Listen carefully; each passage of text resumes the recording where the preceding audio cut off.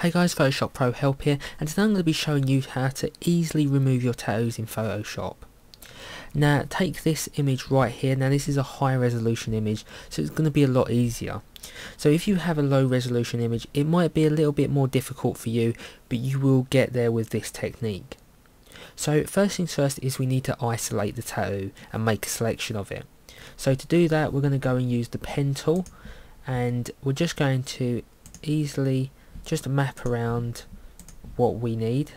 So we're just going to make a rough selection. We don't need to be too precise with this. And all we're going to do is we're going to go and right click now and then go to make selection now depending on how big your image is at the time, you might want to feather this by 8 pixels.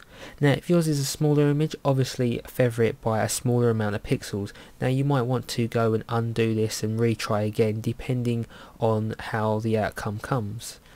So we're just going to go and put anti-aliased on and then click OK. Now from here we could use the patch tool but I'm going to go and show you what it'll do. So we're just going to go over here.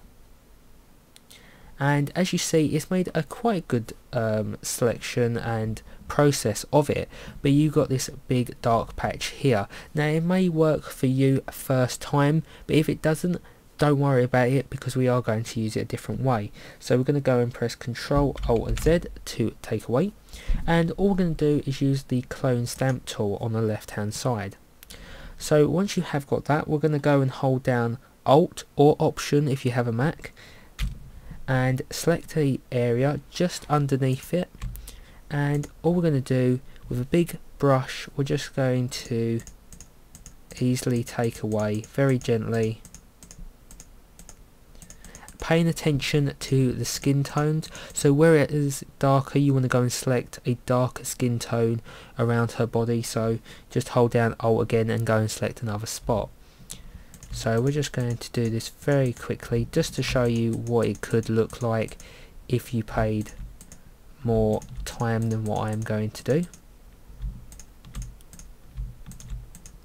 So just as you see darker skin tone there and then once you have done that all we're going to do is press control and D or um, so we're going to go and press control and D to deselect. And then as you see it's all gone but it has made a rough outline. So that is really easy and simple to do now. All we're going to do is go back to the patch tool and just take where you can see those lines and then just go and sample it from somewhere else. So around about there. And there we go. Basically that's it.